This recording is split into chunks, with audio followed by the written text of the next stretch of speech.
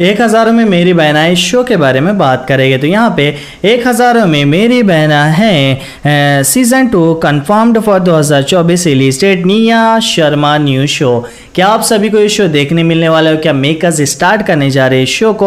और क्या star plus का ये बेहतरीन शो आप सभी को नज़र आने वाला है? इसी बारे में बातचीत करेंगे सबसे पहले शेयर लाइक सब्सक्राइब कमेंट आप सभी को कर देना है, तभी आपको आने वाली अपडेट मिलेगी। अभी सबसे पहले दोस्तों मैं हूँ आपका होस्ट एंड दोस्त तंसीर और आप देख रहे हैं टू जेड क्रेजी न्यूज़ आप सभी को पता है, ये जो शो है स्टार प्लस का एक बेहतरीन शो है, जिसे हम जानते हैं, एक हज़ार में मेरी बहना है, दो बहनों की ज़बरदस्त केमिस्ट्री नज़र आती है, निया शर्मा और क्रिस्टल डिसूज आप सभी को देखने मिलते हैं। अब अपडेट निकल के आ रही है शो से जुड़ी हुई। अपडेट यहाँ पे यह है कि मेकर्स इस शो को ऑन एयर करने जा रहे हैं। आने वाले वक्त में ये शो आप सभी को स्टार्ट होते हुए नज़र आएगा, इसकी शूटिंग स्टार्ट होते हुए नज़र आएगी, इसका नया प्रोमो देखने मिलेगा।